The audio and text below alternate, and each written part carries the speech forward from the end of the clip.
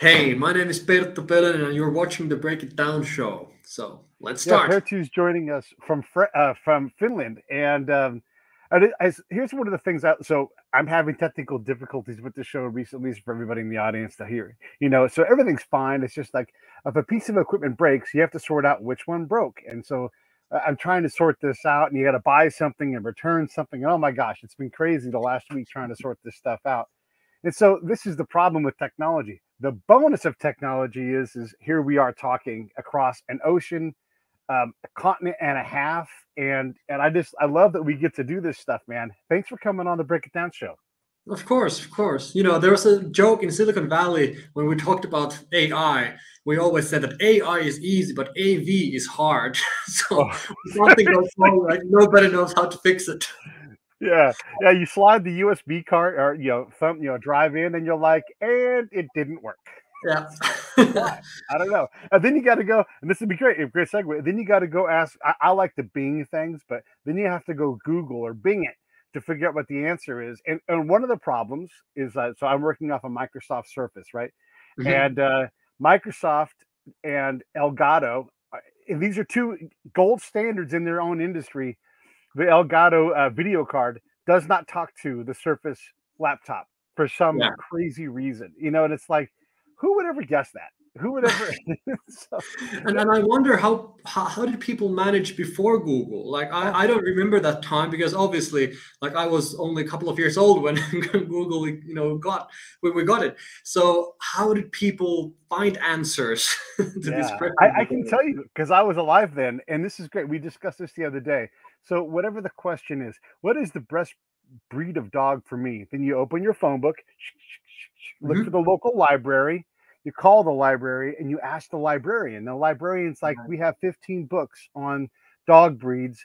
Um, but people around here like to get the cocker spaniel. You should try that. And that's how you did it. You either went down to the library or in the librarian was literally Google. Imagine mm-hmm. how crazy that is. And the librarians were, they loved it. They loved it when you called and asked them hard questions because they were just this body of knowledge. Isn't that crazy?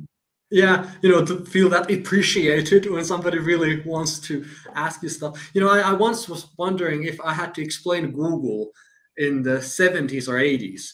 You know, yeah. how would have I how could have could have I explained it? Because back then I couldn't have said or used the terms like internet or algorithm or search engine because that wouldn't necessarily mean anything to anybody. So how would you explain Google in the 70s? So I actually came up with this this answer that we have developed an answering machine, right?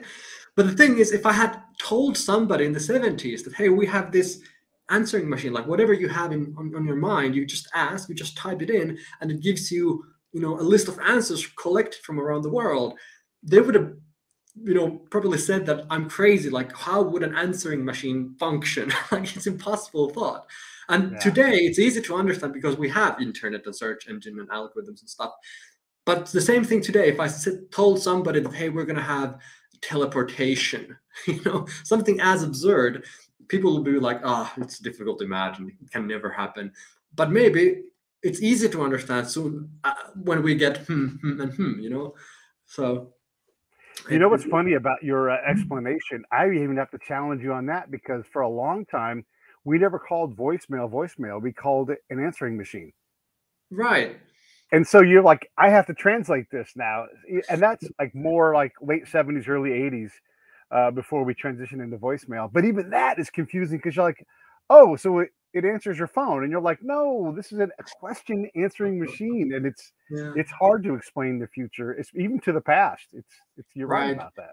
I think especially when we try to kind of understand the future as you know a new version of the old mm. and quite often it's not a variation it's it's completely new things and in that case it might be difficult to kind of plant that idea into somebody's head i grew up just outside of the silicon valley in the bay area and so i recall like when and i'll say the words hackers because that, that wasn't what they were called back then but mm-hmm. all of these people were into this and they were establishing the industry my, my friend's dad had an apple computer like a lisa computer like early on and right. so we were all trying to understand, like, yeah, but what's this thing good for? Because I want to go outside and throw a ball against the wall. And that's like mm. my favorite way to play games. And literally played ball against the wall for thousands of hours, right? Yeah.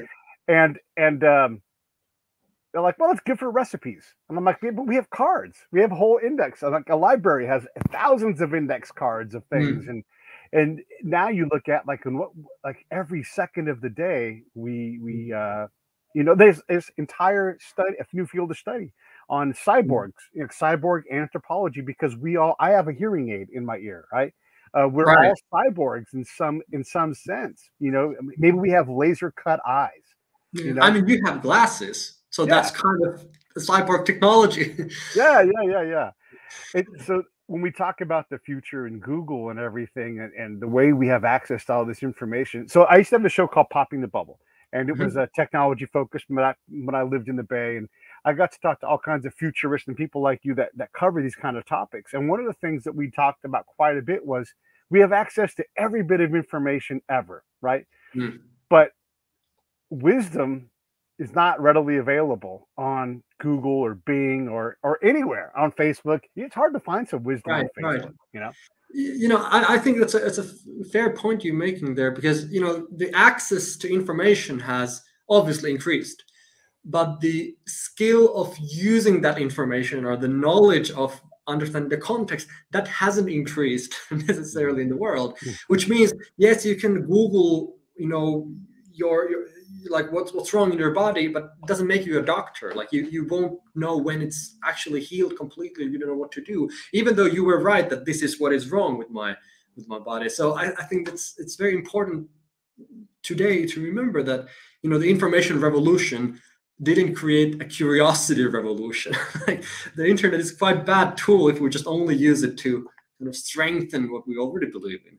So in that sense, it, it didn't make us better. You know, it it, it outperformed us because yes, it obviously Google Internet holds much more information than what anybody can can do, but it kind of doesn't teach us right and wrong. so. Mm.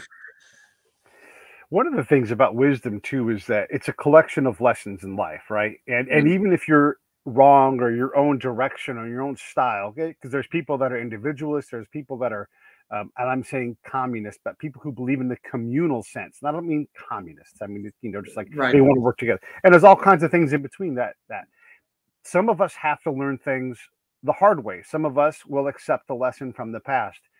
When I mm-hmm. was a kid growing up, there was a guy called Evel Knievel, and he would jump his motorcycle, which was not designed for jumping and he would jump over buses and and over Grand Canyons and all kinds of things. And we loved him as a kid. We loved stuntmen. There was a movie called Hooper that came out in the seventies, and we all mm-hmm. just wanted to be stuntmen. And so we would jump off of stuff. And I don't know a young boy anywhere in the world that hasn't looked at the roof of their dwelling and said, "I should jump off that," you know. Right. And then they do, and then eventually we learn like any adult can go. Hey, Perttu, uh, probably don't want to jump off that roof. It's a really bad idea. Right. Even trust me, I've done it a couple times. You shouldn't do mm-hmm. it. And then what's Perttu going to do? He's jumping. You know, we all have to jump off the roof sometimes to acquire some of these lessons and and process them into wisdom. Uh oh. I think pair two stuck or I'm stuck. All right. I'm going to. Is he unstuck? Are you unstuck? Okay, good. Okay. Okay. So I think a similar type of lesson is that you know, everybody told you when you were young not to put your tongue into the metal pole when it's freezing cold outside. And you knew that it, it, it it's not a good thing. And, and still, some people, maybe they were too curious because they just wanted to try it out. But the thing is, experimentation always leads to lessons learned. And in that sense, I think the courage to try new things, try out, you know, stuff is, is kind of a good thing because it leads to you know wisdom maybe. Um but i guess uh, at the end of the day it's it's like learning comes from the reflection after we tried something you know? It's, it's always the moment after when we ask ourselves so what was it a good thing or not? Um, so i think it's it's always like important to as a teacher as an educator you know to to recognize the like teachable moments like those are the moments when the person really learns the lesson. Okay, don't do that again. So usually it happens after something has happened. You know.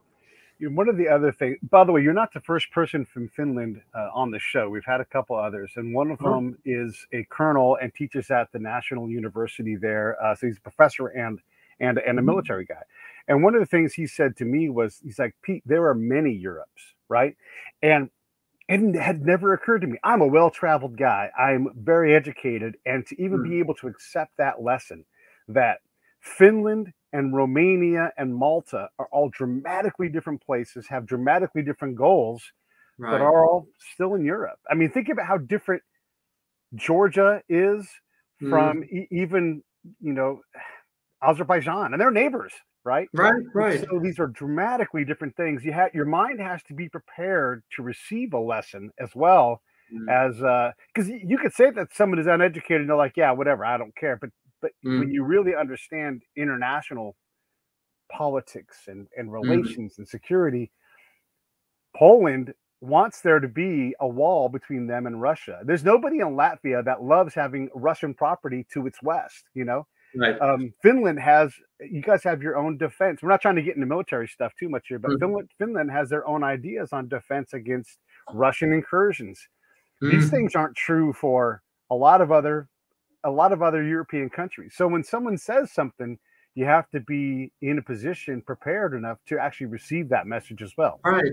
I think there's there's a saying, some kind of aphorism from from Chinese philosophy that goes somewhere along these lines. It goes like the teacher arrives when the students are ready, and and quite often it, it kind of forces us to be humble. You know, I think in in the future work life, for example, you cannot survive if you are not willing to be a beginner every now and then. You know, like recognize the fact okay i don't know much and i don't know anything and i should be taught Yeah, yeah.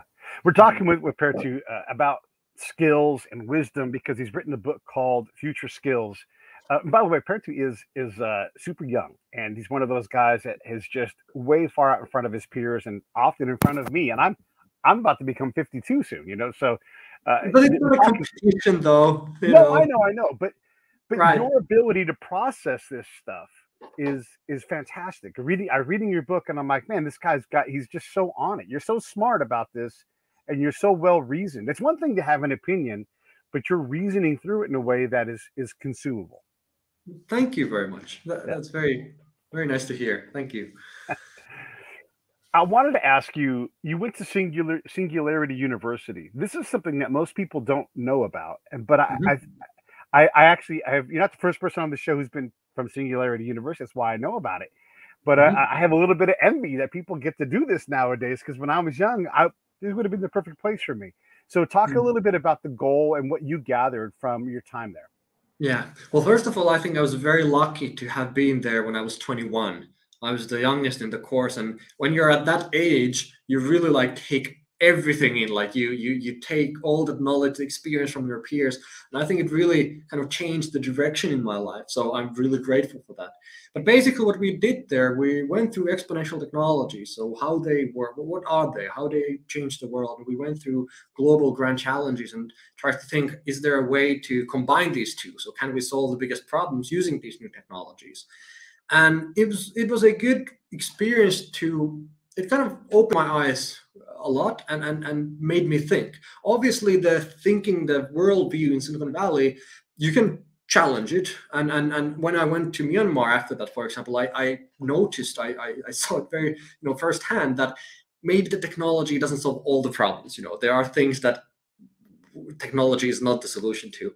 Um, but it really got me thinking, and that's the most important thing. And in all these kinds of courses, um, the people are always the most important part. So we had 80 students from 40 different countries, and obviously the diversity, like we had different fields represented, different cultures, and and the kind of conversations you have in that kind of setting is super super interesting. So it was very nice to see that even though we're different, we have different backgrounds. Future is something that really connects or, or kind of puts us all together and and it, it made me optimistic i have to say like it made me believe that we can actually solve these big problems and, and we can do something about it. And when in finland i had always thought the future is something abstract. It's happening over the other side of the world. You know we, we, we don't have a say in that. Um, when i went there and i saw hey well you are working at google you're working at facebook like these are the guys who are actually behind these these solutions it became very kind of tangible that okay it's not something that just will happen one way or another, but it's something we actively, you know, do every day. So it it kind of gave me a good starting point to start my own career as an entrepreneur. You know, start talking about the future, write a couple of books. Um, I'm very grateful for the experience, but obviously, um, uh, nothing is black and white, and and, and in that sense, um, I, I can also like challenge some of the you know main messages they they had. But anyway, very very important part in my life. Yeah, it's neat. It's neat to, to hear the things that people talk about. And then also the, the work there is, I don't want to say so singular because that's just a little bit too punny, but the people that come out of there all say the same thing. They've all said to me, I was so fortunate to get a chance to go. And then like one of them was a female. She was from a South American country. I'm not trying to identify her any more than that, but she said, I had no opportunity to do this kind of thing in the country that I came from. I was an entrepreneur. I was an entrepreneur down there, but every time I got going anywhere, my my gender held me up. And so I was mm. desperate to break this mold, and so I came to the United States. Literally that day, the shit that I talked to her, they talked about females being held back in the U.S. as entrepreneurs, mm-hmm. and I'm like, how do you balance these realities? You have someone desperate to come here, go to Singularity University, and literally change the world while we're told that these things aren't possible. And, and I'm with you, I'm pretty optimistic about the future because we are seeing these things. Uh, another friend of mine posted something recently about blockchain and how it's going to change how we assign value to to farming, for example, so that we can we can expand what the value is. We can understand this better. One of the best things uh, when I talk about like blockchain and and the use of like modern currency is when you look at like a, a parent who stays home to raise the kids, we're really bad at creating the value with that. When you start right. to use technology and start to say these things have value, we can better account for what is and isn't valuable. This is technology I mean, at its best.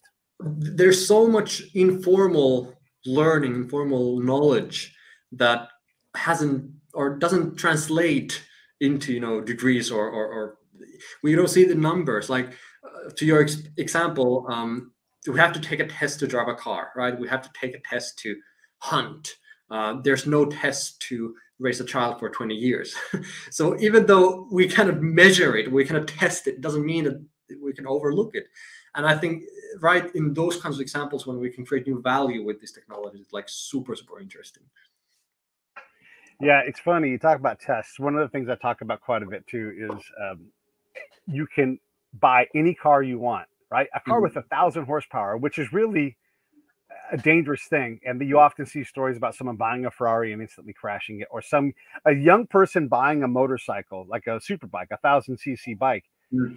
There's no extra class to learn how to ride these things. Okay, sure, in California, you've got to take a motorcycle safety class. That's what I'm talking about. I'm talking about yeah. being able to control a performance vehicle at a high speed on a non-closed circuit right mm-hmm. you you get when you're young and you have no experience, you learn how to drive a car and then spend the rest of your life driving terribly and never have to go in to do anything to prove it ever again that you can. You can't cut hair in the United States without having continuing education. If you're going to, pardon the uh, vulgarity, if you're going to wax women's vaginas, you have to get a license and continue to educate yourself, right? Right. But raising a kid, driving a car, nothing.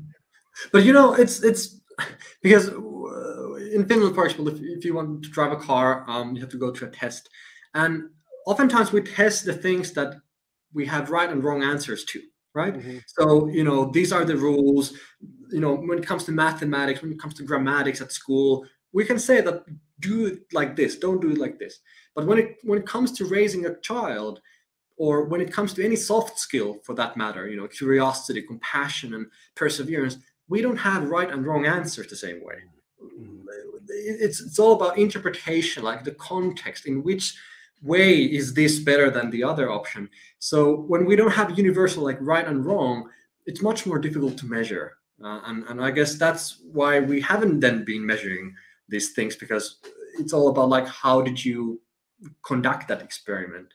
Um, it's like personality tests. You know, it can give you the direction. Like, okay, this is mm-hmm. something like who you are but it's not set in stone you know uh, the same way like berkeley innovation index is a very good way to measure creativity that usually is quite difficult to measure Um, but still, it, it's not perfect. Yeah, it's not perfect. One of the other things uh, that I've noticed with folks who are in the AI in the uh, in, in the computer world, I'll say in general, mm.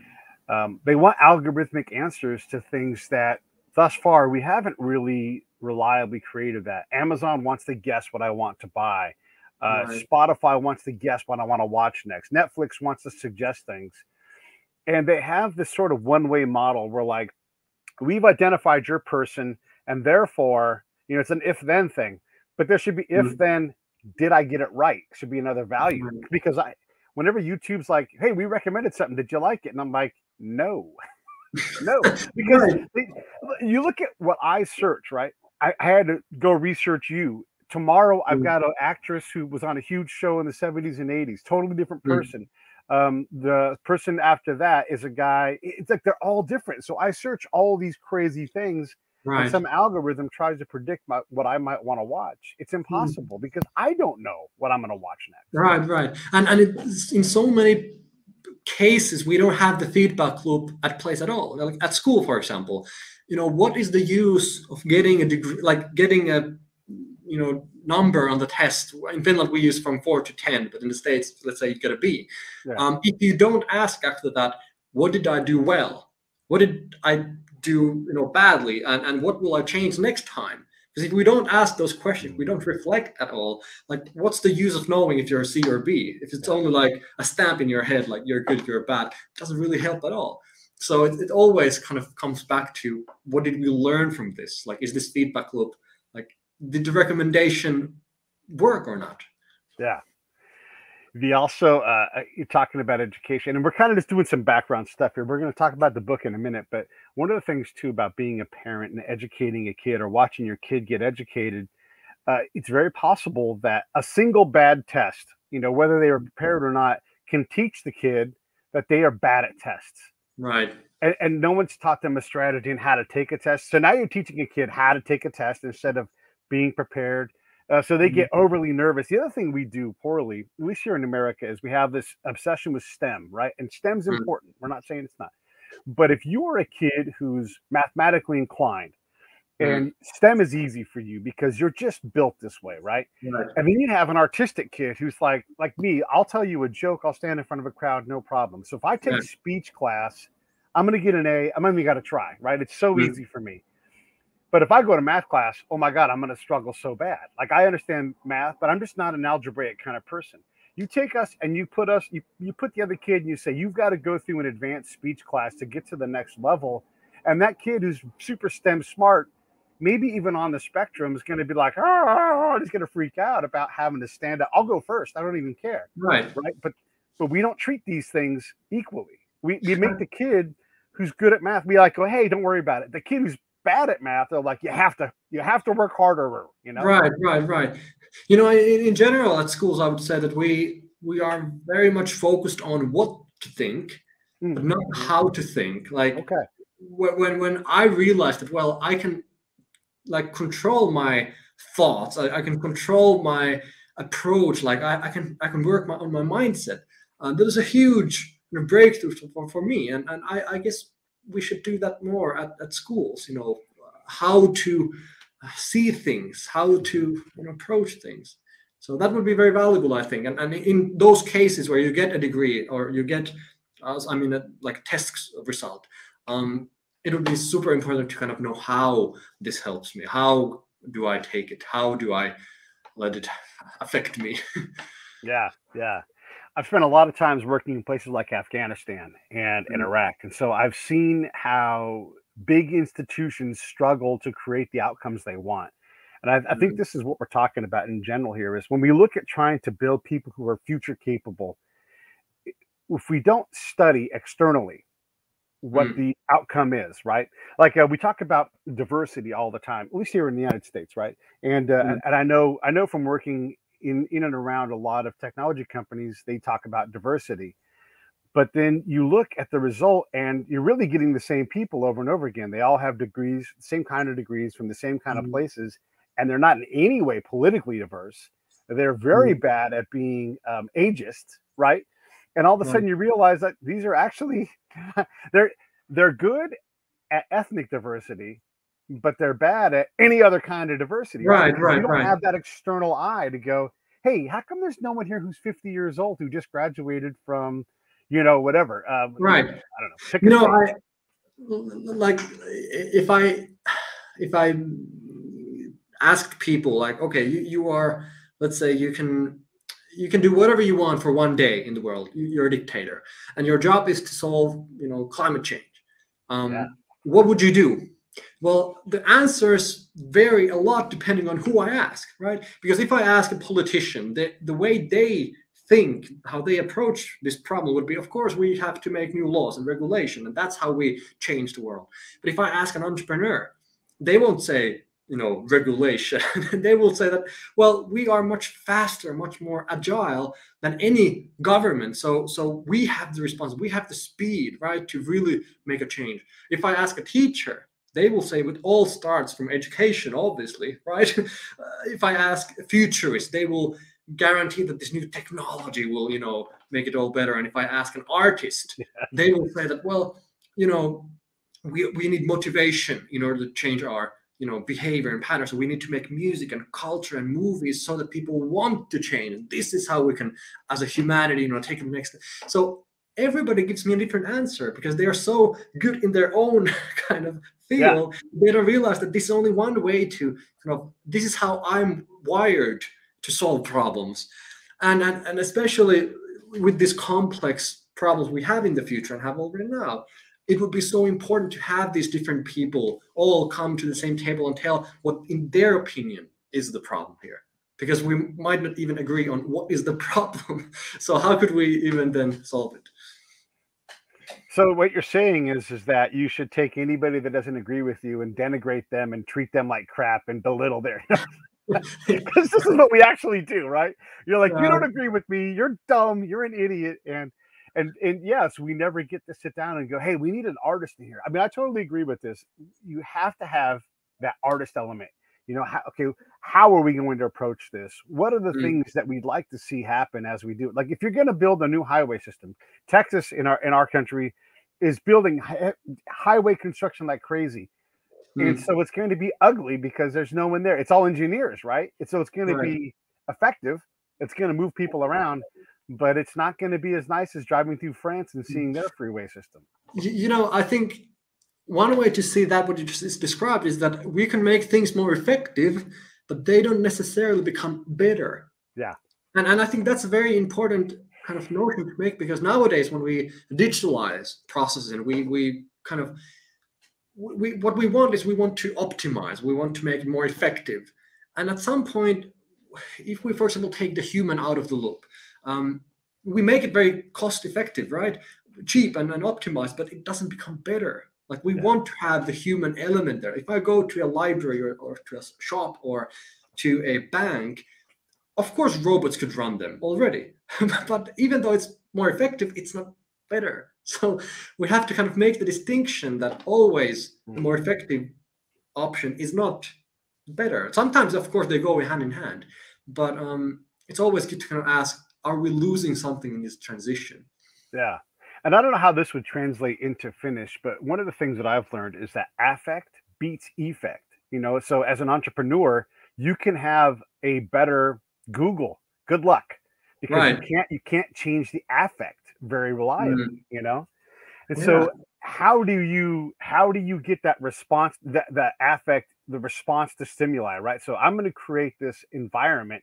How do I gather people? You, you're the worst Yeah. entrepreneur in the world if, if you have the best machine ever and nobody cares. Right, right, right. Now, I think too often we value speed over depth.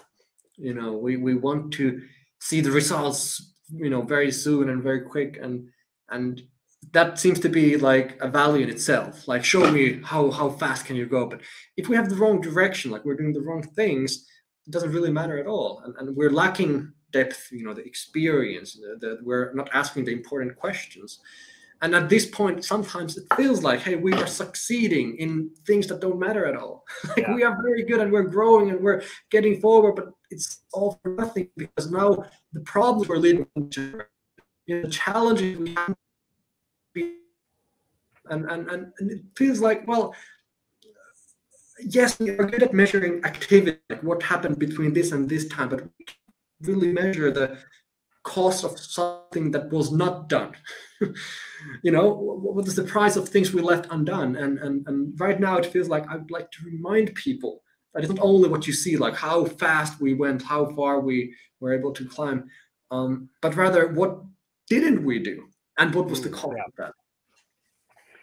Yeah, this is a good point. We just went through a whole thing here in the U.S. and and our allies mm. in Afghanistan. You know, we thought we had built something that would last at least a few minutes, but the mm. reality mm. was, and I worked at the ground level, right? And I, I'm like, nothing here works. Like, what's stable about a country that has no roads, no electricity, no cell phone towers, no fire department, no banks, no way to gather taxes. Like, what's stable about that? That right. we shouldn't expect this to last any length of time but because we didn't have the we don't allow the mavericks to come in and say hey there's problems all over the place we need to mm-hmm. slow down this progress we think we're having and get really granular you know before you automate something. Guys you got to know what the heck is going on on the ground.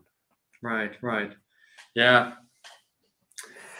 When you when you decided to write this book okay first off you're a busy dude right? And and as as young people often are you're like writer slash speaker slash musician slash slash slash because you're still sort of sorting out your voice. And this is no way to denigrate you. It's just a young person thing where yeah. you take on a lot of things. Why did you need to write this book? And are you going to continue to write do you think? Yeah. Um, so after I got back from Silicon Valley and I was basically brainwashed in a good sense, I guess, I, I, I sometimes felt a bit, you know, I don't know if relentless is the right word or you know restless, maybe restless. You know, because I felt like these visions, these these technologies are wonderful, of course, but in in wrong hands, they can create a lot of bad things. And and I feel like the technology has already improved so quickly that we as humans haven't really we haven't been able to keep up. And right now they are having you know the hold on us.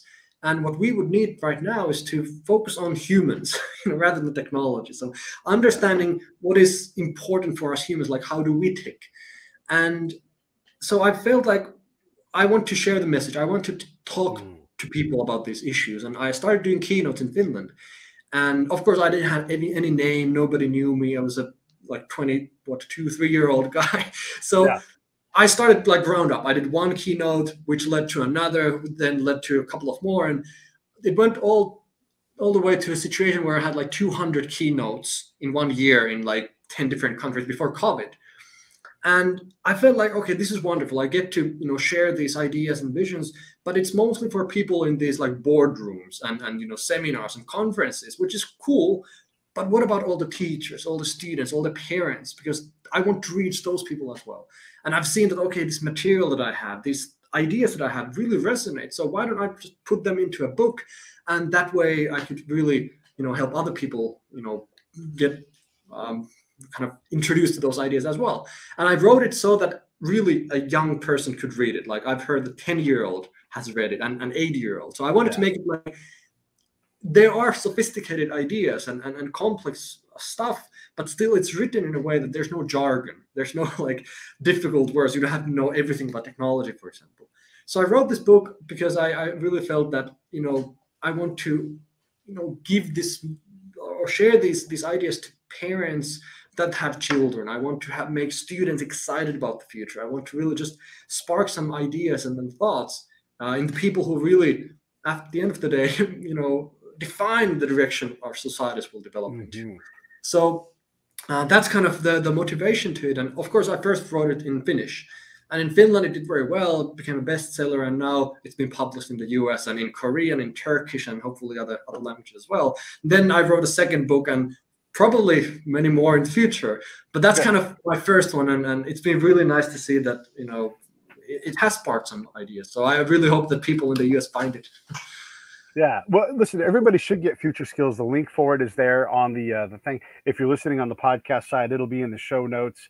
The, the uh, I enjoyed it. it. The book is it's short. It's easy to read. Like you said, it's mm-hmm. not super jargony, and it, it, puts you in a look it puts you in a more positive mind about the future there's plenty of bad news out there right there's also a lot of really good news i mean there are a lot of good things we've covered a lot of like problems with institutions and and with ai and everything but there's we're also getting better and one of the things i learned from from popping the bubble was never bet against software engineers because they will continue to creep and solve and slowly ameliorate problems that yes i mean life can life can be and will continue to get better in so many ways. Yes, we have big problems. Um, a lot of these problems, this just in, existed when Sumeria was the biggest, baddest country in the world, and that's a long time ago. So yeah, you know, we can't. It's hard to solve the Sumerian level problems, but we famine is a lot less frequent. Uh, you know, we survive giant problems like a, a tsunami or a hurricane mm-hmm. a lot better now than we used to. You know, we we were able to i just had some guys on the show the other day and they're they're they work on the nature side of things and they're trying to reintroduce red-legged frogs to southern california right mm-hmm. and there's technology involved in this and and there's because there's so many people here there are now canyons that used to be dry that are now mm-hmm. wetlands because of all of the runoff from the houses on the hills and oh. so they can reintroduce frogs to these areas and do it with better knowledge and it's a company that that focuses on bees and like bees are mm. one of the smartest things in the animal kingdom. Yeah. Um, let's take all of this combined knowledge about bees and start giving it to farmers so that we can build better bees, more efficient bees, teach because right. bees can learn.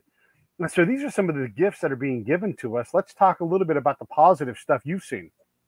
Yeah, I mean, what you basically described there is like because now we have a way to share the knowledge, you know, because of internet um, the rate of innovation, the rate of kind of best practices, you know, around the world is only going to increase. And I think that's one of the best things ever. Like, if we didn't have internet and we had climate change, how would we begin to tackle the kind of solution? Like, if we didn't have internet, we had COVID.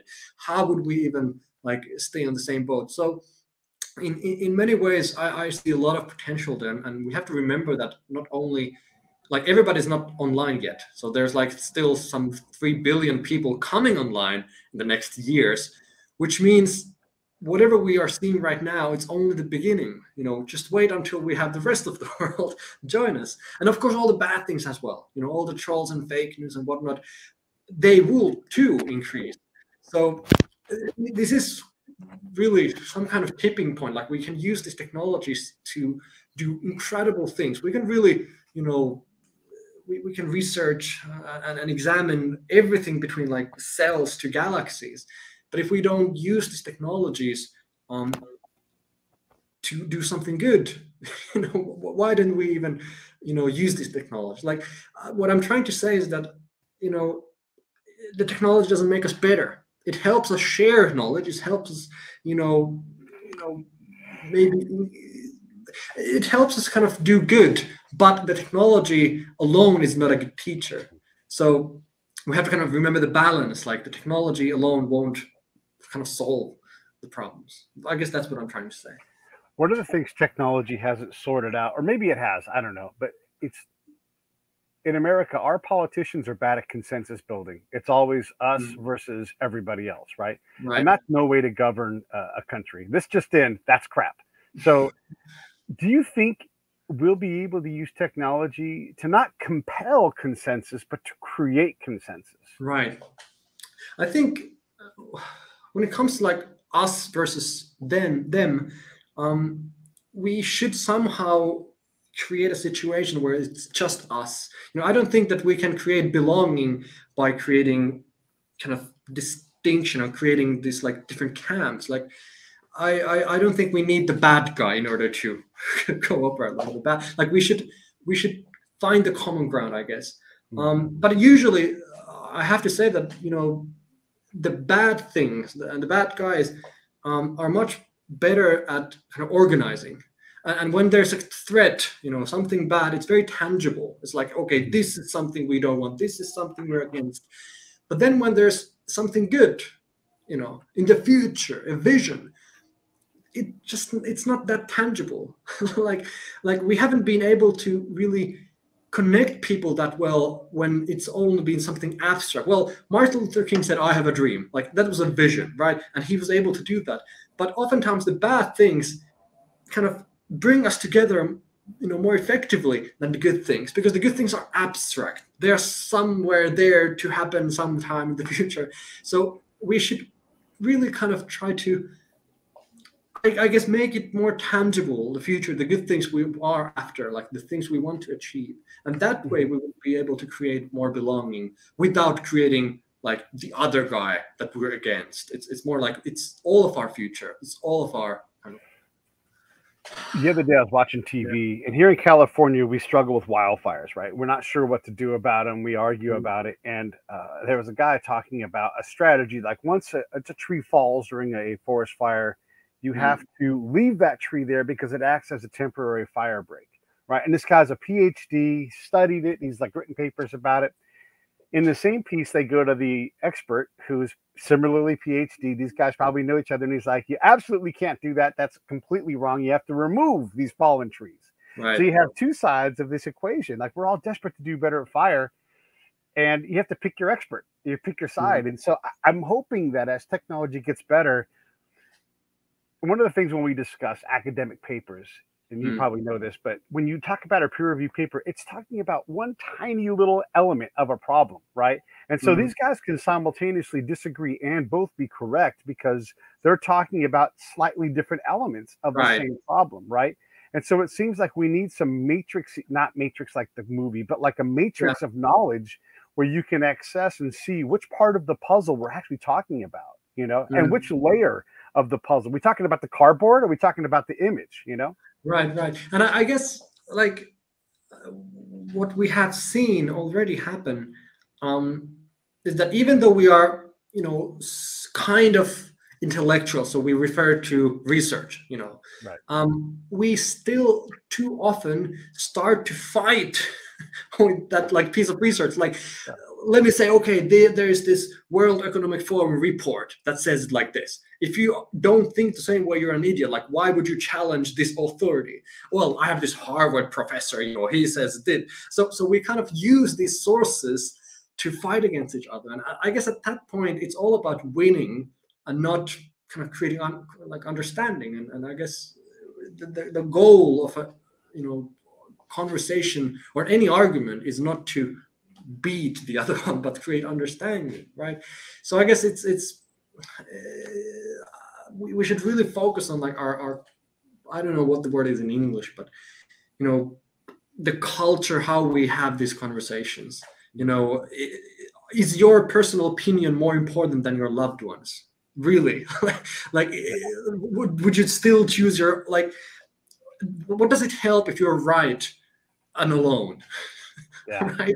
Yeah. Like, why would you rather like? Wouldn't you like rather to be with other people and like live together? Like, like is opinion really that important to you? And anyway, this I think oh, we could talk about this for an hour, but it makes yeah. me frustrated. You know, like we are we are better than that. One of the things, as someone who collects wisdom for a living, one of the things that I've learned is that we're wrong a lot more often than we ever keep track of. And who keeps track of how often they're wrong? Right. right. Okay, sure. You're going to keep track of it. But even, even then, you don't know, like, were you right? Because mm-hmm. we have a lot of things where we talk about I don't know, some experience and you talk about it from another point of view, and all of a sudden you're like, well, that's not that's not what I experienced at all. I mean, I've literally been in villages talking to people and and just by asking different questions without my perspective being important, understanding the other perspective, right. you come back with this completely alternate reality. Mm-hmm. And this happens all the time. So I started to learn, oh my God, I'm wrong probably as often as I'm right. You right. know, and, and, until I can prove otherwise, I'm just going to assume that I'm wrong way more often than I think I'm right. Yeah. And to be more patient, to be more tolerant. Mm. I guess one way to look at it is that, you know, as we grow, as we learn more, we just become less wrong. like we, we, don't we are not right, but so like little by little we are less wrong and then less wrong than that and so on. Yeah. Uh, back to those guys with the trees one of the things too about that is if you read any academic mm-hmm. papers, they're not binary. You know, they're they're never binary. They're right. look when you read the conclusion, they're going to be very forceful, and this is where their opinion can come in. But the rest of the paper, it's like more likely than not, some of the time, you know, mm-hmm. there is an increase, there is a, a, slight correlation. It's never a correlation of one, never, ever, ever. And yeah. so we have this opinion that all Finns love fudge. Well, that's just not going to be true. It might be right, 50% right. true, but not not mm. 52, not 80, not 100, you know? Yeah.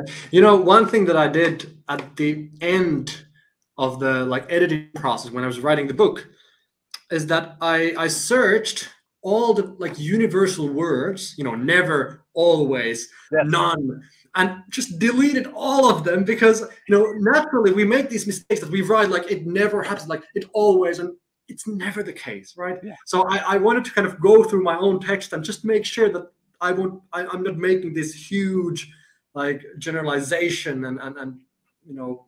So so i guess that's something we should all remember that it's never never. It's, yeah, it's not, yeah yeah yeah yeah. Yeah. I, I, want to mention something else too. As a guy uh, he was a really incredible um, management leadership author. His name is peter drucker. He's passed on but he wrote mm-hmm. books for 50 plus years and he's like okay if you've read book number you know, 52 um, remember when i said back in book 15 that this was this way i was wrong and so if you read book 15 but never read book 52, you you're getting the wrong lesson. right, right, right. I wonder if the same thing happens to me. So in in a couple of years, I'm like, I have an updated version. You know, this is what I'm talking about. Yeah.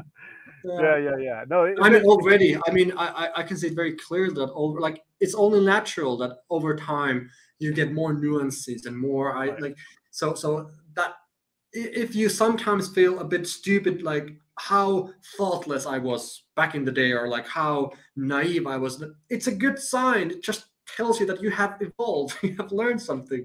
So it's a good thing to kind of be a bit ashamed of the past, for example. Good. And, then the other thing, I'm just curious, what are some of the things as you've written the book? The future moves so fast. Technology moves almost as fast. Right. What what has already evolved that you're like, God dang it, I'd like another crack at this book and write another chapter mm-hmm. right now. Well, actually, I, I was kind of aware of that when I started writing because uh, I think it's like in the first pages when I say that the things that change are, of course, interesting and nice, but that's not the most important or more most interesting thing at all. The things that don't change is what we should really focus on because that's something we can rely on. That's something we can trust not to go away. So it's much more valuable to find the things that will stay the same. And when it comes to skills, of course, philosophy, fine art, these human skills, they will never go away. So it would be a very safe investment to make to study those things and kind of be good at those things. So I kind of wanted to kind of make make sure that I'm, I'm not making predictions or this kind of stuff that will then you know be outdated very soon, but rather ask the question, what like is this book, these these thoughts, are they gonna last in time? And I try to really approach it that way. So things that won't go away, won't yeah. become obsolete. In the book, early on, you use the example of being a kid and spinning around. You talk about this also in your TED talk. It's one of your central uh, teaching points, right? Yes. How did you come up with that? And it's brilliant, by the way, because you can come back and be like, and then I rotated and I evolved and I turned again and I consider this from a different point of view. It's just a brilliant thing. Talk about the evolution of that process and that that that you know that teaching tool. So so basically, um, like what that experience taught me. So yeah, and how did you realize that this was going to be a central theme for your your talks and everything else? Like hmm. such a powerful- no, I, I, yeah. So so maybe a little bit of background for those who who, who don't know what the spinning story is about. Yeah. So when I was in in, in um, kindergarten, we faced a like problem like we didn't know what makes a person wiser than another so we asked our teacher this question and, and he said that and, and jokingly, we didn't know we were five years old, but he said that the more you rotate, um, the wiser you get because older people have been here, you know, for a longer time. They have had more opportunities to rotate, and the world spins all right. So that's why older people are more, more, you know, they're wiser. So we went out and like spread our arms out wide and started spinning, thinking that we're doing ourselves a great service. And, and later on, obviously, we learned that okay, that's not what makes you wise. Um, but when I, when I played with this thought, I, I, I thought, well, actually, the more times you have changed your perspective, the more times you have changed how you approach things, probably wiser you are. So after like two decades, I learned that he was right at the end of the day. Like like he, he had a point. There's another day actually um, when we didn't know what makes people die, you know, and, we asked again our teacher like, why do people die? And, and this time he he, he he he lied. He said that you know when you leak blood, blood gets out. Um, there's only a certain amount of blood in your body, and when you live up to 70, 80 year olds, you have like hurt yourself so many times that little by little the blood all has run out. And when you lose all the blood you die. And a couple of days later when we hit our knees somewhere and, and you know got a scratch. We were like panicking like oh my gosh like in- incredibly precious years are leaking out and like quickly somebody put and, and we thought that okay that's why the parents always make us kind of be careful because they don't want us to die too early uh, because of the blood leaking out. And um, just like a couple of stories to, to start the book with but um, i guess like there's always wisdom in those um, stories like like uh, I, I just thought that it would be nice to share those things I guess the big question we should ask are what are some of the future skills that you identified that maybe aren't obvious? Mm. Um, I would say perseverance has become a skill. Um, of course, yes, it's a virtue and it's always been important. But I think in today's very hectic environment, when we want quick fixes, right, and we want to have you know results immediately, and everything has to happen easily and fast, um, we are not always very good at you know at staying or keeping the course for, for a long time. Like i would say that if you want to achieve anything great in your life you have to learn how to commit because that brings you know depth that brings meaning and fulfillment. So if our way of living is very short sighted you know? Um, we are we cannot learn you know some things that take very long time to learn. You know there are things in life that you learn only like let, let's say this way it takes years to learn. You know there are some things in life that you only learn at like midpoint of your life. And and we have to kind of remember that not everything happens easily and fast. So in, in that sense perseverance and the ability to stick to one thing at a time i think it's, it's super important. It might not be um, um, like uh, clear to, to everybody. Um, another thing i would say is honesty. Um, of, yes, again, it's always been important, but why is it a skill? Well, because in social media we have become very good at like showcasing a certain side of ourselves. We're very good kind of actors, all of us. We can manage the view we are giving out, and and in that world, I think we have all, all already recognized that that's not interesting. Like we know that's not true. Like you know the the perfect photos and and, and posts and whatnot. And, and we crave, we, we want to have something authentic, something real. And in that sense, honesty, like the ability, maybe the courage to show who you are as you are is super important because it connects people. You know, you, you bring something, let's say you, you bring a real vulnerability on the table. Um, it, it, it, strengthens relationships, it, it deepens relationships.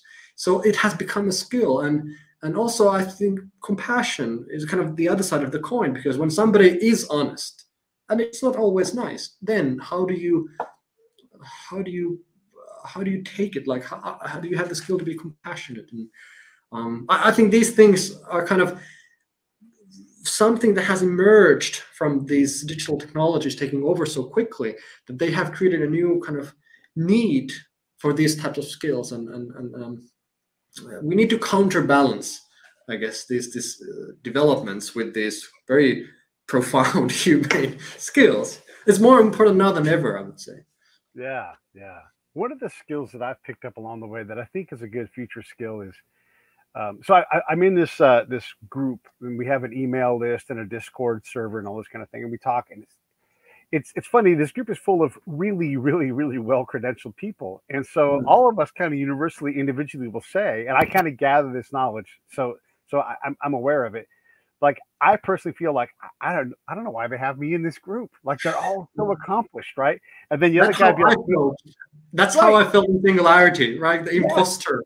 Right, yeah. right. You're like, how are they letting me in here? And then the next guy's like, hey man, do you feel like you don't belong? You know, and so if everybody feels this way yeah you know you're forced to kind of be the better version of you and maybe you're more mm-hmm. measured and, and maybe you don't say as ridiculous things as you might do to your friends but boy do i learn a lot in this group and and mm-hmm. so this ability to not only see things from other perspectives but to be in a group where everybody believes everybody else is like playing at a higher level than them you know you're in something that's really magical and and it allows you to grow. And i don't know what you call that skill but this is mm. something that i've learned as an adult and fairly recently. Yeah, and I, I mean, some kind of perception, I guess, because mm-hmm. I, I have trained the muscle to see something from each one of them, like every people that I encounter, that I would want to learn from them, like something that I I'm idolizing this person about, and I think it is a skill that you can train, like how like see good examples around you like see good features like spot things that you want to be and become um, i think that's super important to kind of if you want to develop yourself, if you want to grow, um, you need to have examples. You need to have um, idols.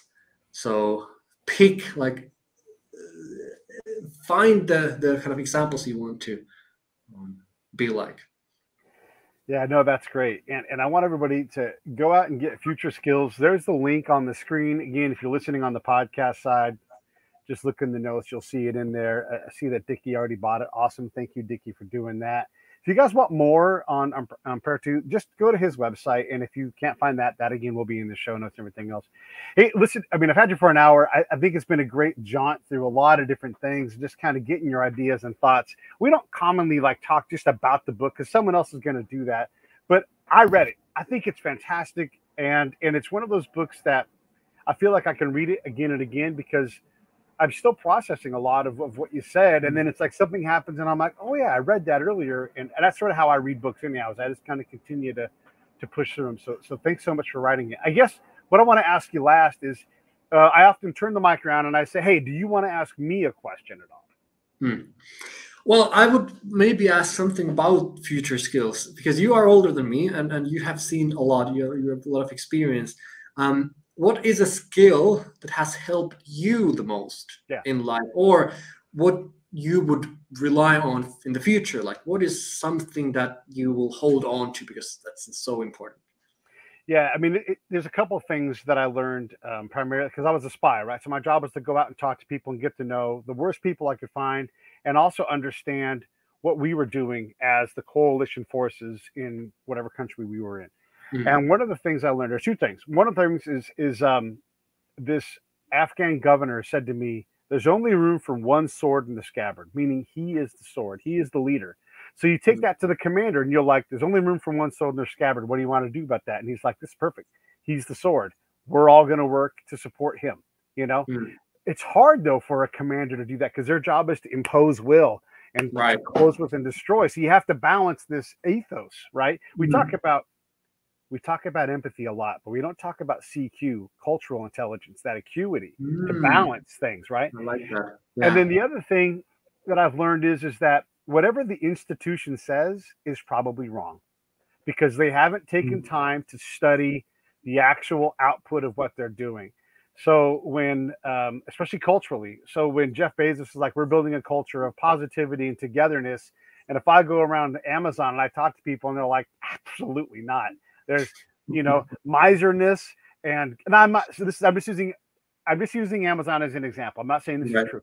But if you were to go out and test their culture, I, I, bet you wouldn't find what they think is true. And so if that is true, then what other mistakes are they making in mm-hmm. their approach to things? Whether it's legislation for for the policies the, of a government or it's uh, the output of a corporation, whatever they're saying is not going to be as true as you want. Not that they're trying to lie, but they don't take the time to study their actual output and go, oh, let's twist these knobs within the machine to make this better outcome happen. Right.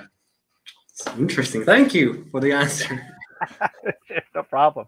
Well, listen, I appreciate you coming here. Let's uh let's do it again. You got a lot of books to write. I'd love to talk to you again sometime soon. Yes, thanks for taking the time. I really appreciate it. No, no worries. Okay, let me sign this thing off. Stand by for a second. Hey, thanks for watching the show. I really appreciate it. Right here, you can subscribe. Please do that. It makes the show grow. Hit that notification bell so you know which incredible guest is coming up next. Down below is the PayPal link. You can put a small subscription in. That is an enormous help. All that money goes right back into the show. And then right up over here, are the next episodes you should listen to, curated by yours truly. Thank you so much for watching.